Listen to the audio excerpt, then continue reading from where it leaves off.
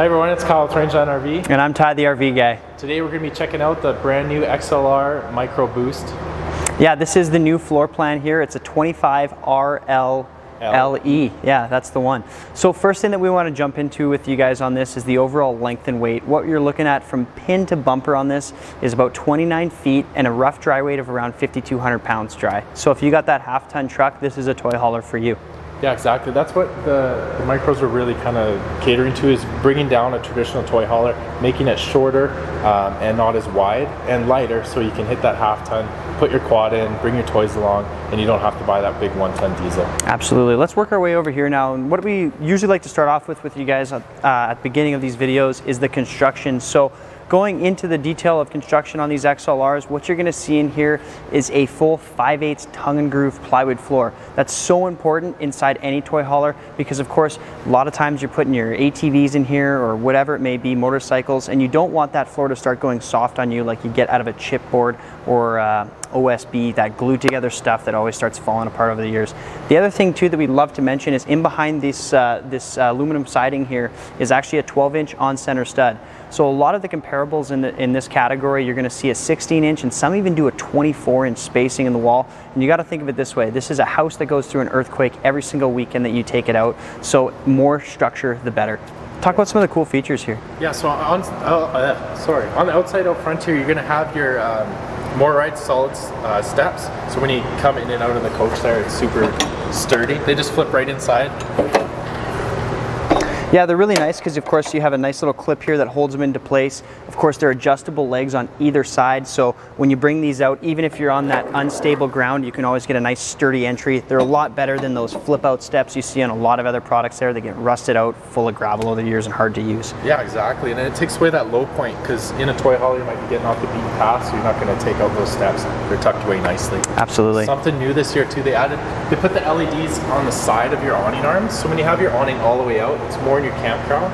And if you have that beam there, sometimes the bugs like to it, uh, are attracted to it, and when you open the door, they kind of sneak in there as well. Absolutely. While we're kind of talking about that door too, one of the things that you're going to notice here is XLR uses that beautiful friction hinge system. So something like this can carry up to a 25 kilometer an hour wind, so you're not worried about the door slamming on you, possibly slamming on somebody's fingers and you know getting hurt. So it's a nice little touch that XLR does for you. Definitely. And then we'll check up up front see what we're doing. You get a large pass-through storage. So this is under your bed because this is a front queen up here. So full pass-through storage, tons of area to put all your gear in there. And then up front you have your two 20 pound propane tanks.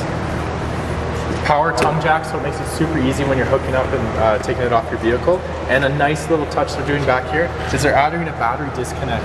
So it's super easy to disconnect your battery so nothing's uh, slowly draining the battery when you have it parked. Yeah, you don't have to take your batteries off anymore when you're done using your trailer, you just hit the switch.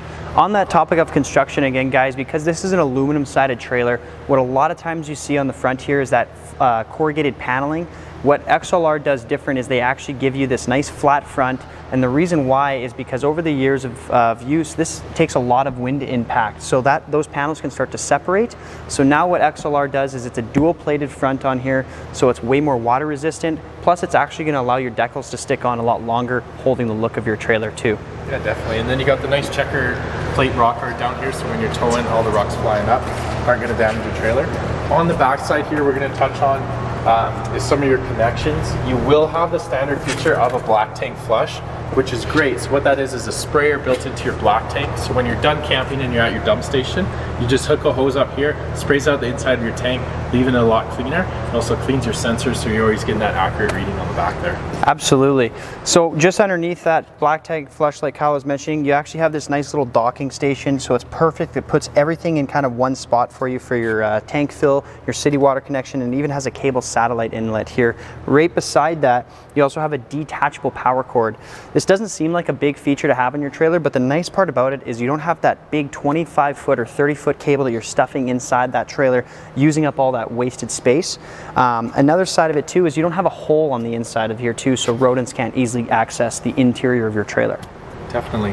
Uh, touching on the wheels here, um, it is a leaf spring axle system and they are pre-flipped from the manufacturer. So it's sitting a lot higher. You get that extra three to four inches of clearance. Again, if you're getting off that beaten path. On either side of the toy hauler, uh, will feature these airflow. So you pop these open when you have toys in the back there. It just allows for air to come through so you're not building up any gas fumes inside your trailer. Absolutely. Um, and back here you can see we got the VIP party deck set up. So in a small little toy hauler in this class, it's awesome to have this extra space. I've seen people back this toiler or this part up here to a lake, fish off of it. Uh, depending on your campsite, you're gonna have a nice view. Or if it's super muddy, um, you're out of the mud, still being able to enjoy the outdoors on it. Absolutely, yeah, it's a real, real co uh, cool feature to have. I mean, and it's well appointed too. You even have the blue LED light strip across the top there too. And just above that, you'll notice you're pre-wired for an outside camera here, or a backup camera is what I should be calling it. So we do carry the camera here at Rangeland. So if you wanted to have that set up on this XLR, we can absolutely do that for you. Follow us around the front now. Um, we'll actually jump inside and talk about some of the cool features there. Um, as we're walking by, of course, you got the outside speakers, you got an outside uh, TV uh, set up here for you too, and of course, like we were mentioning before, that big power awning. So let's head inside now and talk about some of the cool features here.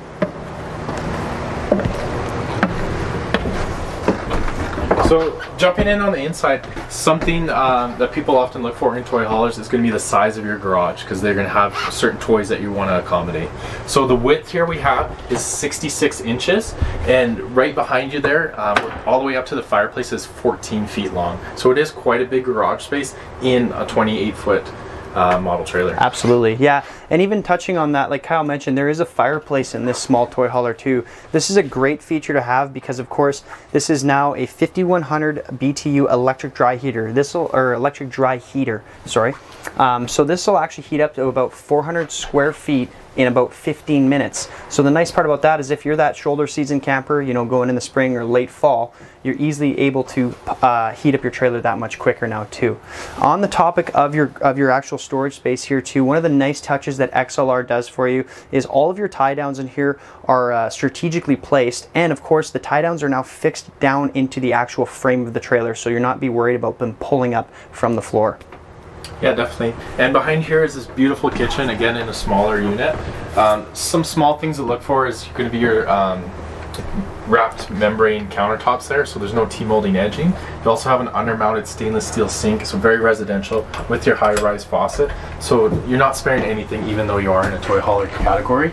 Normally toy haulers, you're, again, you're getting off that beaten path, you're not always hooked up to power. So it is a gas and electric 8 cubic foot RV refrigerator in here. So you got the big fridge space and it's gonna run off propane.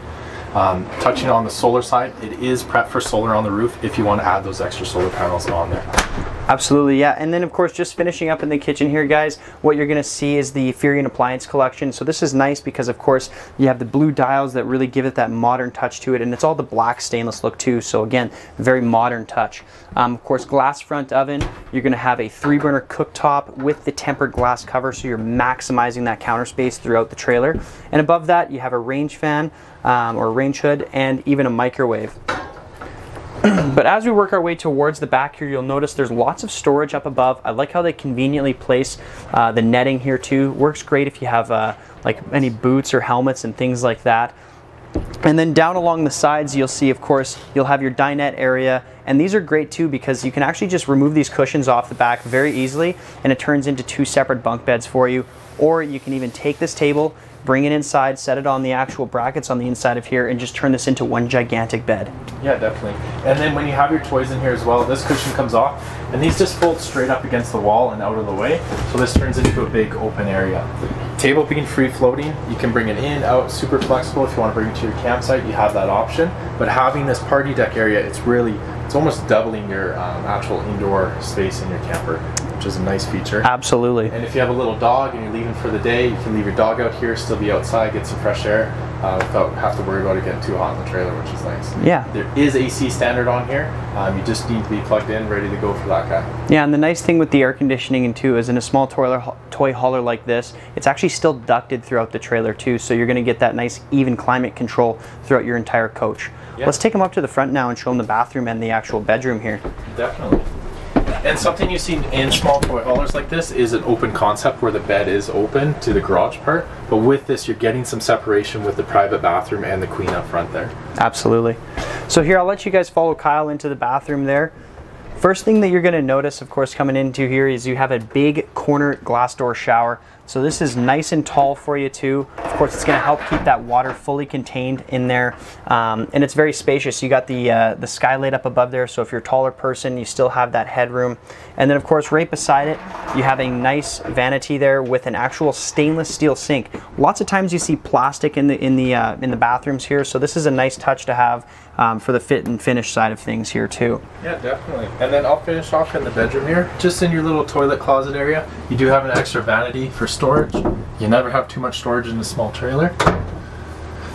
Up above you do have an air vent. And up front here you're going to have your queen bed, um, USB charge ports on either side of the bed, and you have 110 outlets as well, so CPAP friendly. You can charge your devices, you're going to have that capability. Hanging wardrobes on either side with an enclosed storage over top. Of course, now most trailers are all LED lights, um, but which is nice, you do have them on a switch too, uh, so you're not always getting up and pressing the buttons on there too. Absolutely. And I mean, even on the topic of the cabinets here, guys, one of the things that we love to talk about, of course, going into fit and finish, these are all solid wood core cabinets here. Um, and then even up above, you'll notice they give you the cabinet doors there. It's a nice feature to have because some trailers actually just kind of give you the shelf above there, so it's kind of a unusable space, especially while this trailer is traveling. Yeah. Um, other little details, of course, you have pleated night shades here too. Even in the back, you may have noticed it's got the full blackout snap-on blinds, so it's really nice if you have guests back there. But I mean, that pretty much wraps up this XLR here, guys. Um, if you do have any questions, make sure you reach out to us through our website, which is rangelandrv.com, or you can always give us a call. Anybody would be happy to take your phone call and answer some questions. Make sure you give us a call and ask us about our RV show pricing on right now. Again, I'm Ty, the RV guy. I'm, I'm Kyle with Rangeland up in Red Deer. And thanks for watching. And happy, happy camping. camping.